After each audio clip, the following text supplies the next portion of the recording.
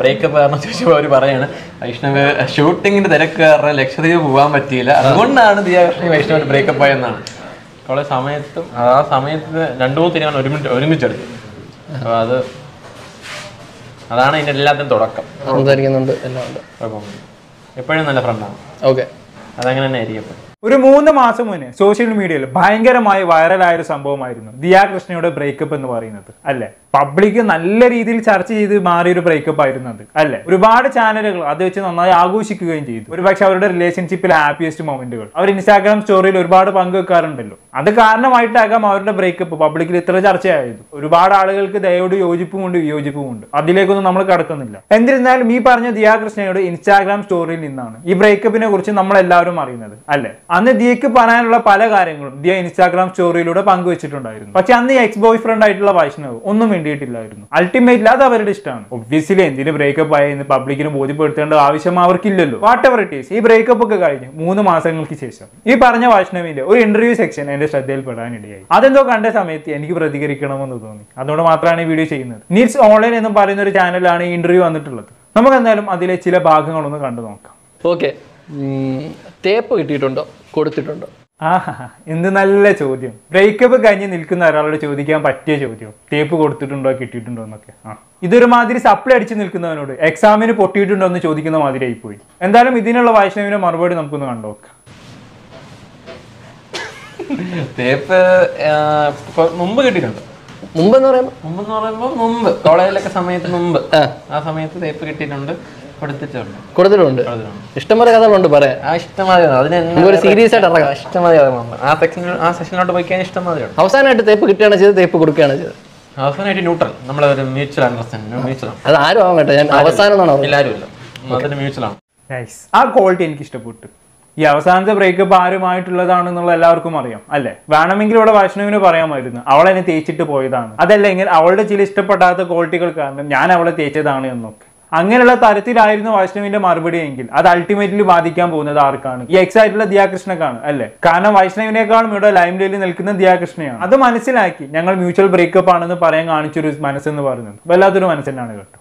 Obviously ഒരു breakup ഉണ്ടാകുന്ന സമയത്ത്. അപ്പുറത്ത് നിൽക്കുന്ന വ്യക്തിക്കെതിരെ. നമുക്ക് പലതും പറയാനുണ്ടാകും അല്ലെ? അത് പറയാതെ പബ്ലിക്കലി പ്രൈവസി കീപ്പ് ചെയ്യുക എന്ന് പറയുന്നത് അത് നല്ലൊരു ക്വാളിറ്റി ആണ്. വേണമെങ്കിൽ നമുക്ക് അതിനെ പ്യൂർ റെസ്പെക്ട് എന്നൊക്കെ വിളിക്കാം. ആ റെസ്പെക്ട് താങ്കൾ എക്സ് ദേക്ക് നൽകുന്നുണ്ട് എന്നുള്ളതാണ് ഈ ആൻസറിൽ നിന്ന് എനിക്ക് മനസ്സിലാക്കാൻ സാധിച്ചത്. ആ റിയലി അപ്രീഷിയേറ്റ് യുവർ ആൻസർ ഇനി ഇതൊക്കെ കഴിഞ്ഞ് ഇന്റർവ്യൂ ലൈഫിൽ ഒരു സെക്കൻഡ് ചാൻസ് കിട്ടുകയാണെങ്കിൽ എന്ത് ചെയ്യുമെന്നൊരു ചോദ്യം ചോദിക്കുന്നുണ്ട്. അതിനുള്ള വൈഷ്ണവിന്റെ മറുപടിയും കൂടി നമുക്കൊന്ന് കണ്ടോക്കാം ഒരു സെക്കൻഡ് ചാൻസ് കിട്ടുകയാണെന്ന് വിചാരിക്കുക ലൈഫിൽ എന്ത് ചെയ്യും? കോളേജിലോട്ട് പോകും. കോളേജിലോട്ട് കോളേജിലോട്ട് പോയിട്ട്? കോളേജിലോട്ട് പോയിട്ട് കോളേജിലോട്ട് പോയിട്ട് കുറച്ച് നമ്മൾ കുറച്ച് തെറ്റായ തീരുമാനം എടുത്തിട്ടുണ്ട്. College college കഴിഞ്ഞൊന്നുമല്ല. കോളേജ് സമയത്തും ആ കോളേജ് സമയത്ത് പോകണം അവിടെ മാത്രമേ കോളേജ് വെച്ചെടുത്ത ഒരു തീരുമാനം തെറ്റായി പോയി എന്നാണ് അതല്ല. അതല്ല. ആ സമയത്ത് രണ്ടു മൂന്ന് തീരുമാനം ഒരുമിച്ച് ഒരുമിച്ചെടുത്തു. അപ്പോൾ അത് അതാണ് ഇതിന്റെ എല്ലാത്തിനും തുടക്കം. അതായത് അത് റിഗ്രറ്റ് ചെയ്യുന്നുണ്ട് റിഗ്രറ്റ് ഒന്നുമില്ല. അപ്പൊ ആ തീരുമാനം കുറച്ച് അത് വെച്ചാൽ എടുത്ത തീരുമാനം നല്ല തീരുമാനമാണ്. നല്ല തീരുമാനം എടുത്തത്. പക്ഷെ ആ തീരുമാനത്തിന് മുമ്പ് ഒരു തീരുമാനം അവിടെ ഉണ്ടായിരുന്നു. അപ്പൊ ആ തീരുമാനത്തിന് ക്ലോഷർ കൊടുക്കാതെ തന്നെ തീരുമാനം എടുത്തു അത് പാതിക്ക് വെച്ചിട്ടാണ് പുതിയ തീരുമാനം എടുത്തത്. ക്ലോഷർ അവിടെ കൊടുക്കണം. ഇതിപ്പോ കാണുന്നവർക്ക് ആർക്കും മനസ്സിലാത്തതിന് കുഴപ്പമില്ല. മനസ്സിലാക്കണം. അപ്പൊ ക്ലോഷർ കൊടുക്കാത്തതിന് കാരണം കൊടുത്ത കൊല്ലത്തും കിട്ടും. ഓക്കെ അപ്പൊ അവിടെ ഒരു പണി കിട്ടിയപ്പോൾ വീണ്ടും വർഷങ്ങൾ കഴിഞ്ഞ് വീണ്ടും കിട്ടും. കിട്ടും പിന്നെ. ആ ഉള്ളൂ. കർമ്മയിൽ വിശ്വസിക്കുന്നൊന്നുമില്ല പക്ഷെ ചിലപ്പോൾ ഭൂമടങ്ങ് പോലും വരും. ഓക്കെ. ചില ചിലർക്ക് മാത്രം. ചിലർക്ക് മാത്രം. ചിലർക്ക് ചിലത് ശരിയാകും. ചിലർക്ക് നടക്കും ചിലർക്ക് നടക്കൂല. നടക്കില്ല ഓക്കെ അപ്പോൾ ഇവിടെ ജീവിതത്തിൽ കോളേജിന്റെ സമയത്ത് എടുത്തൊരു തീരുമാനം തെറ്റായി പോയി എന്നുള്ളതാണ് വൈഷ്ണവ് ഇവിടെ പറഞ്ഞു വെക്കുന്നത്. ജീവിതത്തിൽ ഒരു സെക്കൻഡ് ചാൻസ് കിട്ടുകയാണെങ്കിൽ ആ തീരുമാനം ഒന്ന് തിരുത്താമായിരുന്നു എന്നും കൂടി ഇവിടെ വൈഷ്ണവ് പറയുന്നുണ്ട് അല്ലെ? ഇനി ആ തീരുമാനം റിലേഷൻഷിപ്പ് ആണോ എന്നറിയില്ല കേട്ടോ. പക്ഷെ അവസാനം അടിച്ച രണ്ട് ഡയലോഗ് ഉണ്ടല്ലോ. അതായത് കൊടുത്താൽ കൊല്ലത്തും കിട്ടും. പിന്നെ കർമ്മയിൽ വിശ്വസിക്കുന്നില്ല. പക്ഷെ ബൂമറാങ് പോലെ ചിലപ്പോൾ തിരിച്ചു കിട്ടും എന്നുള്ള രണ്ട് ഡയലോഗ് അത് അടിച്ച സമയത്ത് എനിക്ക് തോന്നിയത് അത് റിലേഷൻഷിപ്പുമായി ബന്ധപ്പെട്ട് അടിച്ച ഡയലോഗ് ആണ് എന്നുള്ളതാണ്. കാരണം ബ്രേക്കപ്പ് വന്ന സമയത്ത് ദിയാകൃഷ്ണൻ അത്തരത്തിലുള്ള ഒരു സ്റ്റാറ്റസ് ഇട്ടതായി ഞാൻ ഓർക്കുന്നുണ്ട്. അതുകൊണ്ട് ഇത് റിലേഷൻഷിപ്പ് ഉദ്ദേശിച്ച് പറഞ്ഞ പോലെ എനിക്ക് പേഴ്സണലി ഫീൽ ആയി. എന്റെ ഫീലിംഗ് ആണ് കേട്ടോ. വാട്ട് എവർ ഇറ്റ് ഈസ് അത് റിലേഷൻഷിപ്പുമായി ബന്ധപ്പെട്ട് എടുത്ത തീരുമാനമാണെങ്കിലും അല്ലാത്ത തീരുമാനമാണെങ്കിലും എടുത്ത തീരുമാനം തെറ്റായി പോയിട്ടുണ്ടെങ്കിൽ ആ തീരുമാനത്തെ പഴിക്കേണ്ട ആവശ്യമില്ല എന്നുള്ളതാണ് എന്റെ അഭിപ്രായം. കാരണം നമ്മൾ എന്തൊരു തീരുമാനം എടുക്കുകയാണെങ്കിലും അതിന് അതിന്റെതായ കോൺസിക്വൻസസ് ഉണ്ടാകും അല്ലേ? എല്ലാ തീരുമാനങ്ങളും ശരിയായിക്കൊള്ളണമെന്നില്ല. ഒരു പക്ഷേ ഇപ്പൊ എടുത്ത തീരുമാനത്തിന് പകരം അന്ന് കോളേജിന്റെ സമയത്ത് മറ്റൊരു തീരുമാനമായിരുന്നു വൈഷ്ണവ് എടുത്തതെങ്കിൽ. ചിലപ്പോൾ അത് കാരണം ഇപ്പൊ വൈഷ്ണവ് റിഗ്രറ്റ് ചെയ്തിരിക്കുന്നുണ്ടാകും. നമുക്ക് പറയാൻ പറ്റത്തില്ല. ഇപ്പൊ എടുത്ത തീരുമാനം തെറ്റായി പോയി തോന്നി എന്ന് കരുതി. അന്ന് എടുക്കാമെന്ന് വിചാരിച്ച മറ്റൊരു തീരുമാനം ശരിയാകണമെന്ന് അർത്ഥമില്ലല്ലോ. എല്ലാ തീരുമാനങ്ങൾക്കും അതിന്റെതായ ദോഷങ്ങളും ഗുണങ്ങളും ഉണ്ട്. അത് നമ്മൾ ആക്സെപ്റ്റ് ചെയ്യുക എന്നുള്ളതാണ്. ചിലപ്പോഴൊക്കെ നമ്മൾ എടുക്കുന്ന തീരുമാനങ്ങൾ തെറ്റാകാം ശരിയാകാം. അതെന്താണെങ്കിലും അതിന് അനന്തരഫലം നമ്മൾ നേരിടാൻ തയ്യാറാകുക എന്നുള്ളതാണ് നമ്മൾ ആദ്യം ചെയ്യേണ്ടത്. ഇനി തീരുമാനങ്ങൾ തെറ്റിപ്പോവാണെങ്കിൽ നമ്മൾ അതിനെ നേരിടുക. That's it every wrong decision makes you stronger person എന്നാണല്ലോ. അതായത് നമ്മുടെ ജീവിതത്തിൽ നമ്മൾ എടുക്കുന്ന തെറ്റായ തീരുമാനങ്ങളാണ് നമ്മളെ ശക്തമായ വ്യക്തിയായി മാറ്റുന്നത് എന്നുള്ളതാണല്ലോ. അത് വെച്ച് നോക്കുമ്പോൾ എല്ലാവരുടെ ജീവിതത്തിൽ തെറ്റായ തീരുമാനങ്ങൾ ഉണ്ടാകണം എന്നുള്ളതാണ് എന്റെ അഭിപ്രായം. കാരണം അതാണ് പിന്നീട് നമ്മൾ ഒരു തീരുമാനം എടുക്കുന്ന സമയത്ത് തെറ്റെന്താണ് ശരി എന്താണെന്ന് മനസ്സിലാക്കാനുള്ള തിരിച്ചറിവ് നൽകുന്നത് അല്ലേ?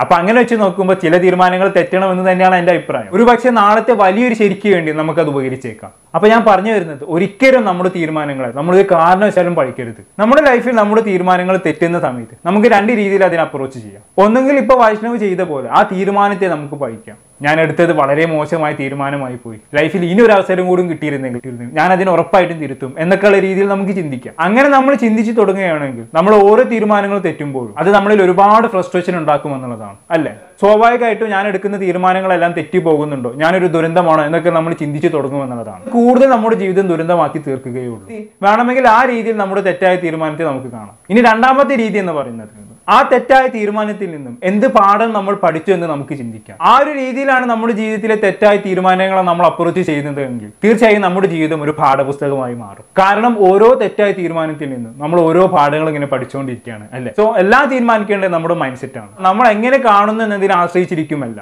അപ്പൊ ഒരിക്കലും തീരുമാനങ്ങൾ പഴിക്കരുത് നമ്മൾ ഇന്ന് കാണുന്നത് നമ്മളാക്കി മാറ്റിയത്. പലപ്പോഴും നമ്മളെടുത്ത് തെറ്റായ തീരുമാനങ്ങളാണ് എന്നുള്ളതാണ് ഞാൻ വിശ്വസിക്കുന്നത്. ഇനി എന്തായാലും ഇതൊക്കെ കഴിഞ്ഞ് ബ്രേക്കപ്പിന്റെ സമയത്ത് വന്ന ഓൺലൈൻ ഗോസിപ്പ് ന്യൂസുകളെ കുറിച്ച് ചോദിക്കുന്നുണ്ട്. അന്നേരമുള്ള വൈഷ്ണവിന്റെ മറുപടി നമുക്കൊന്ന് കണ്ടുനോക്കാം പിന്നെ വീഡിയോയിലേക്ക് കടക്കുന്നതിന് മുമ്പ് ഡിസ്ക്ലൈമർ ആയി പറയാനുള്ളത്. ഇതൊരു മാന്യമായിട്ടുള്ള റിയാക്ഷൻ വീഡിയോ മാത്രമാണ്. ആരെയും ചവിട്ടി താഴ്ത്താനോ താഴ്ത്തി കെട്ടാനോ വേണ്ടി ചെയ്യുന്ന വീഡിയോ ഒന്നുമില്ല അതുകൊണ്ട് തന്നെ എന്തെങ്കിലും കാരണവശാൽ കോപ്പിറൈറ്റ് സ്ട്രൈക്കോ മറ്റോ കാരണമായി ഈ വീഡിയോ റിമൂവ് ചെയ്യപ്പെടുകയാണെങ്കിൽ നമ്മൾ മറ്റൊരു ചാനലിലോ അതല്ലെങ്കിൽ മറ്റൊരു സോഷ്യൽ മീഡിയ പ്ലാറ്റ്ഫോമിലോ കൂടുതൽ ശക്തമായ രൂപത്തിൽ സെയിം വീഡിയോ വരുന്നതാണ്. സോ വീഡിയോ ഉണ്ടോക്കാം ഒരുപാട് ഇങ്ങനെ ന്യൂസുകൾ ഇറങ്ങുന്നുണ്ടല്ലോ ഫേക്ക് ന്യൂസ് അങ്ങനെ.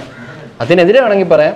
അതിനെതിരെ എന്ന് വെച്ചാൽ യൂട്യൂബുകാർ കുറച്ചുകൂടെ ശ്രദ്ധിക്കണം കാരണം ഒരാളുടെ നമ്മുടെ പ്രൈവറ്റ് ലൈഫിൽ കയറാനാണ് ഇപ്പം ബ്യൂട്ടി ലൈഫ് എന്ന ചാനലുണ്ട് ഈ പറയുന്ന കുഴപ്പമൊന്നുമില്ല. കാരണം അവർ ഭയങ്കര ഭയങ്കര ലോക്കലൈസ് ചെയ്യണം ഓരോ കാര്യം. ഇപ്പം എന്റെ കാര്യം മാത്രമല്ല തീയുടെ അങ്ങനെ അവരെ നമ്മുടെ കാര്യം മാത്രമല്ല. ഇപ്പം വേറൊരു ആൾക്കാരുടെ കാര്യമാണെങ്കിലും അവർക്ക് വ്യൂ അല്ലെങ്കിൽ അവരുടെ പൈസ കിട്ടാൻ വേണ്ടി അവന് കൂട്ടാൻ വേണ്ടി അവർ വെറുതെ അവരുടെ വായി തോന്നിയത് മുഴുവൻ വിളിച്ചു ഇപ്പം എന്റെ അടുത്ത് ബ്യൂട്ടി വൈബ്സ് ആണെന്ന് പറഞ്ഞാൽ ബ്രേക്കപ്പ് കാരണം ചോദിച്ചപ്പോൾ അവർ പറയാണ് വൈഷ്ണവ് ഷൂട്ടിങ്ങിന്റെ തിരക്ക് കാരണം ലക്ഷദ്വീപ് പോകാൻ പറ്റിയില്ല. അതുകൊണ്ടാണ് ദിയാകൃഷ്ണ വൈഷ്ണവ് ബ്രേക്കപ്പ് ആയെന്നാണ്. അറിഞ്ഞുകൂടാത്ത കാര്യങ്ങൾ പൊതുവെ പറയാറില്ല. ഇവൻ നമ്മുടെ ടീമിലുള്ള ഒരാൾ അഭിജിത്ത് നമ്മുടെ ജിയുടെ കൂടെ ഡാൻസ് കളിച്ചു. അപ്പൊ ഉടനെ ഇതുപോലെയുള്ള ചാനലുകൾ വന്നു പുതിയ കാമുകൻ പുതിയ കാമുകനുമായിട്ട് ഡാൻസ് അങ്ങനെ. ഒരാൾ ഇപ്പൊ എന്നോട് ഒരാളൊക്കെ ഒരു എനിക്കിപ്പോ ഒരു റീൽ പുറത്ത് റീൽ ചെയ്യാൻ പേടിയാണ്. കാരണം ഒരു കുട്ടിയായിട്ട് ഇപ്പോൾ റീൽ ചെയ്യാൻ ഒരു കാസ്റ്റ് ആയതാണ്. റീൽ ഷൂട്ട് ചെയ്യാൻ സീരീസ് ഓഫ് റീൽസ് ഷൂട്ട് ചെയ്യാൻ വേണ്ടിയിരുന്നതാണ് അപ്പോഴാണ് ആ കുട്ടിക്ക് പേടി. പേടി. ആ, ഇങ്ങനെ ഒരു യൂട്യൂബ് അങ്ങനെ ചെയ്യാൻ പാടില്ല കേട്ടോ. കാരണം നമുക്ക് ഭയങ്കര ബുദ്ധിമുട്ടാണ്. കാരണം നമ്മളെ പുറത്തിറങ്ങി നിൽക്കുന്ന ആൾക്കാരൊക്കെ ആണല്ലോ. അപ്പം ഇങ്ങനെ ചാനൽ അല്ലെങ്കിൽ എന്തെങ്കിലും അറിയണം. അവർക്ക് ഇപ്പം എന്റെ ഒരു കൂട്ടുകാരനെ സംസാരിച്ചതിന് കാര്യം അറിയായിരിക്കും. അപ്പം അത് വെച്ച് ചെയ്താലും കുഴപ്പമില്ല. അല്ലാതെ ഒന്നും അറിയാത്തൊരു കാര്യം കൊണ്ട് വെറുതെ വലിച്ചു നീട്ടി ഭയങ്കര ബുദ്ധിമുട്ടാണ്. വൈഷ്ണവ് പറഞ്ഞ ഈ ചാനലിനെതിരെ പലപ്പോഴും പല തരത്തിലും നമ്മൾ പ്രതികരിച്ചതാണ്. ഇവർ ദിയയുടെ കാര്യത്തിലല്ല പല സെലിബ്രിറ്റീസിനെതിരെയും തോന്നിയ മാസം പഠിച്ചു വിട്ടിട്ടുണ്ട്. നമ്മൾ പല വീഡിയോസും അവർക്കെതിരെ ചെയ്തിട്ടുണ്ട്. പക്ഷെ എന്താ അവർ ഈ പരിപാടി ചെയ്തുകൊണ്ടിരിക്കുന്നു എന്നുള്ളതാണ്. പക്ഷെ ആ വീഡിയോകൾക്കെല്ലാം ഒടുക്കത്തെ റീച്ചുമാണ് ഒരുപാട് അതിനെക്കുറിച്ച് സംസാരിച്ചതാണ്. വീണ്ടും അതിനെക്കുറിച്ച് സംസാരിക്കാൻ ആവശ്യമില്ല എന്നാണ് എനിക്ക് തോന്നുന്നത്. എന്തിനാണ് പറഞ്ഞതിനെ വീണ്ടും പറയുന്നത്? ഇത്തരം ചാനലുകൾ നമ്മൾ ഇനിയും കാണുന്നില്ല എന്ന് തീരുമാനിച്ചു കഴിഞ്ഞാണെങ്കിൽ അവിടെ തീർന്നതല്ല. ദാറ്റ്സ് എല്ലാവരും വീണ്ടും വീണ്ടും പറഞ്ഞു നമ്മുടെ വായിൽ വെള്ളം പറ്റാന്നല്ലാണ്ട് എന്ത് കാര്യം? ഇനി ഇത് കഴിഞ്ഞ് ദൈവമായുള്ള ഇപ്പോഴത്തെ ബന്ധത്തെ കുറിച്ച് വൈഷ്ണവ് സംസാരിക്കുന്നത്. നമ്മൾ എന്തായാലും കൂടി കണ്ടു നിർത്താം. ഞാൻ നിങ്ങൾ ഒരിക്കലും നിങ്ങൾ രണ്ടുപേരും റിലേഷനിലായിരുന്നു എന്നോ അങ്ങനെയൊന്നും ഞാൻ പറഞ്ഞില്ല. പക്ഷെ നിങ്ങൾ തമ്മിൽ നല്ലൊരു ഫ്രണ്ട്ഷിപ്പ് ഉണ്ടായിരുന്നു. നല്ലൊരു ഫ്രണ്ട്ഷിപ്പ് അതെപ്പോഴും ഉണ്ട്.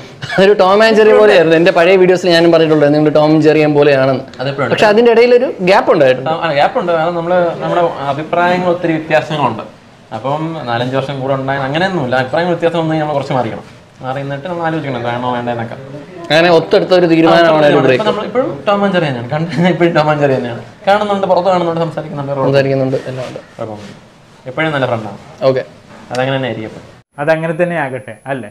സി ബ്രേക്കപ്പിന് ശേഷം ഫ്രണ്ട്ഷിപ്പ് മെയിന്റെയിൻ ചെയ്യാൻ പറ്റുക എന്ന് പറഞ്ഞത് പരസ്പരം വൈരാഗ്യമില്ലാത്ത മനസ്സുകളുള്ളവർക്ക് മാത്രമേ അങ്ങനെ സാധിക്കൂ. എക്സെപ്റ്റ് ചീറ്റിംഗ് ചീറ്റ് ചെയ്തത് കാരണമായിട്ടാണ് ബ്രേക്കപ്പ് ഉണ്ടായതെങ്കിൽ അവിടെ ഒരിക്കലും പുറത്തു കൊടുക്കാൻ പാടില്ല എന്നുള്ളതാണ് എന്റെ അഭിപ്രായം. അല്ലാത്ത എന്ത് കാരണം കൊണ്ട് പിരിയുകയാണെങ്കിലും അതീ പറഞ്ഞ അഭിപ്രായ വ്യത്യാസം കൊണ്ട് പിരിയുകയാണെങ്കിലും അതല്ലെങ്കിൽ ജീവിത സാഹചര്യങ്ങൾ കൊണ്ട് പിരിയുകയാണെങ്കിൽ അവരെ ജീവിക്കാൻ വിടുക എന്നുള്ളതാണ് നമ്മൾ അവരോട് ചെയ്യേണ്ട ഏറ്റവും വലിയ മാനസിക പരിഗണന. Let them live their own life അല്ലേ? അവരെങ്ങനെയും ജീവിച്ചോട്ടെ. അപ്പൊ അത് വെച്ച് നോക്കുമ്പോൾ ഇവിടെ വൈഷ്ണവ് വളരെ നല്ല മനസ്സുള്ള ഒരു വ്യക്തിയായിട്ടാണ് എനിക്ക് ഫീൽ ആയത്. എന്തോ ത്രൂ ഔട്ട് ഒരു പോസിറ്റീവ് വൈബ് ഫീൽ ചെയ്തൊരു ഇന്റർവ്യൂ കേട്ടോ. അതുകൊണ്ടും കൂടിയാണ് ഞാൻ ഇന്റർവ്യൂ എടുത്ത് പ്രതികരിച്ചത്. എന്നിരുന്നാലും ഇതിനേക്കാളും ബെറ്റർ ആയിട്ടുള്ള ഒരു പാർട്ണറെ രണ്ടുപേർക്കും കിട്ടട്ടെ എന്ന് ആശംസിച്ചുകൊണ്ട് ഇന്നത്തെ വീഡിയോ വൈൻഡ് ചെയ്യാം എന്താണ് ഇതിനെക്കുറിച്ചുള്ള നിങ്ങളുടെ അഭിപ്രായം. താഴെ കമന്റ് ബോക്സിൽ രേഖപ്പെടുത്തുമല്ലോ. പിന്നെ നിങ്ങൾ സബ്സ്ക്രൈബ് ചെയ്യണം കേട്ടോ. പലരും വീഡിയോ കണ്ട് പോകാനാണ് സബ്സ്ക്രൈബ് ചെയ്യുന്നില്ല. അത് വലിയൊരു പ്രശ്നമാണ്. നിങ്ങളുടെ സപ്പോർട്ട് ഉണ്ടെങ്കിൽ മാത്രമേ ഇനി നല്ല വീഡിയോ വീഡിയോസ് ചെയ്യാൻ പറ്റുള്ളൂ. അതിന്റെ കൂട്ടത്തിൽ ബെല്ലേക്കും കൂടെ അമർത്തി കഴിഞ്ഞാൽ ഞാൻ ചെയ്യുന്ന വീഡിയോസ് നിങ്ങൾക്ക് നോട്ടിഫിക്കേഷൻ ആയി കിട്ടുകയും ചെയ്യും. അപ്പോൾ നല്ലൊരു ടോപ്പിക്കുമായി വീണ്ടും കാണാം.